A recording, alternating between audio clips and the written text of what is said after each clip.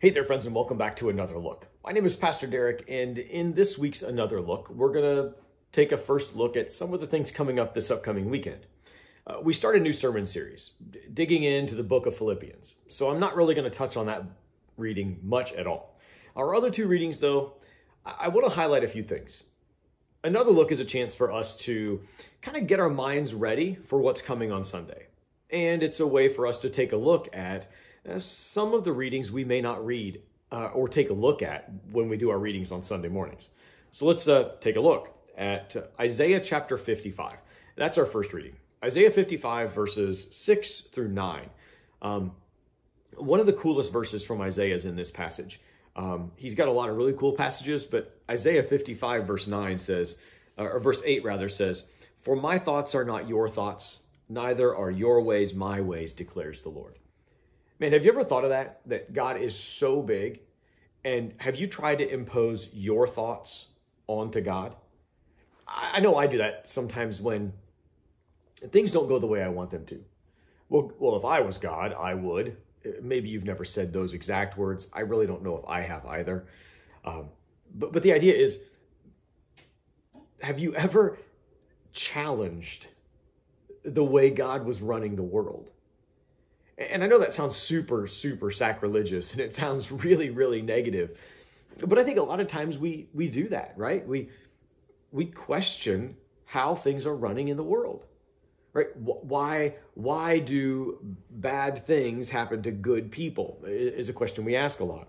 Or why do babies die? Or why did my loved one get cancer when the person who committed all these crimes doesn't seem to have a health problem at all? We ask questions like this all the time. Why are there tornadoes and earthquakes and hurricanes? And why, why does God let this happen? I think the easiest answer to that question is right here in verse 8. For my thoughts are not your thoughts, declares the Lord, neither are my ways your ways. I think what God's getting at in that passage when, when Isaiah writes this and tells the people that God's thoughts are not our thoughts and that his ways are not our ways, it's it's God's way of telling us that he sees a bigger picture that we can't see.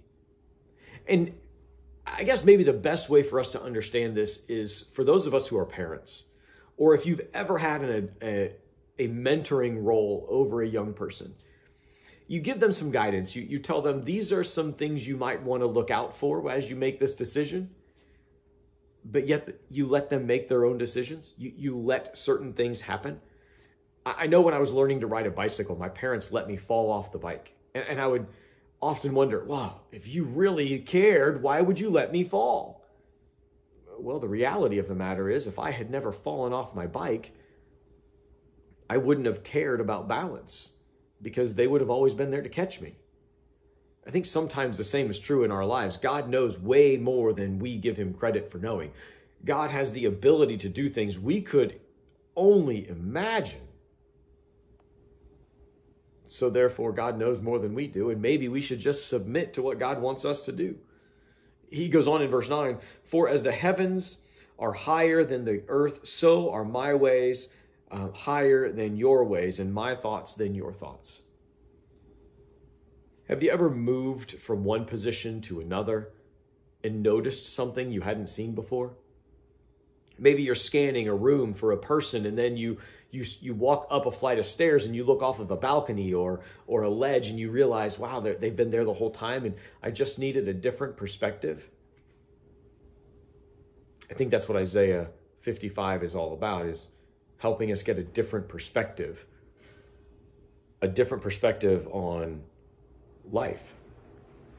Now, if we jump ahead and we go into our, our gospel reading, that's from Matthew's gospel, uh, Matthew chapter 20. This is one of those passages people tend to question God on too. It's kind of funny. Um, this is the, the story or the parable of the laborers in the vineyard if you're not familiar with the story, you should probably read it. Open up to Matthew 20 and just read those first uh, 16 verses or so.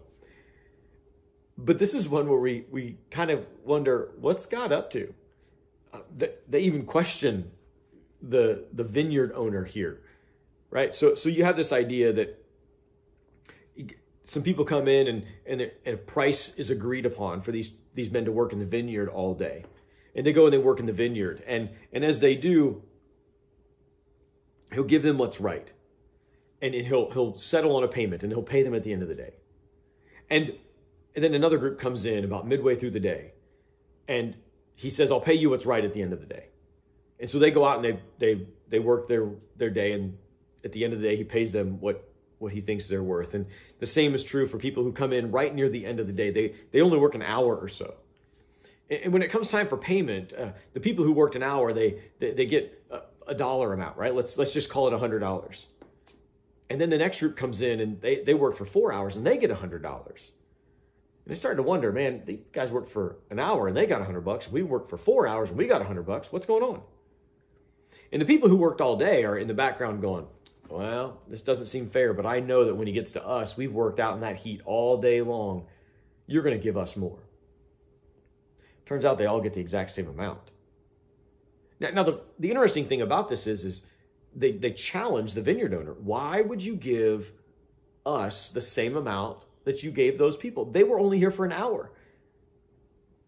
Essentially, the answer is my ways are higher than your ways, and my thoughts are higher than your thoughts essentially what, what's happening here is, is, is what Jesus is doing is, is drawing a comparison between the workers in the vineyard and the idea of salvation and, how uh, some are going to be following Christ all their lives and, they're going to dedicate their entire life to following him and, and they're going to go to church and they're going to do the tithing routine and they're going to serve in the church and they're going to they're going to serve their community and they're going to be the hands and feet of Jesus everywhere they go.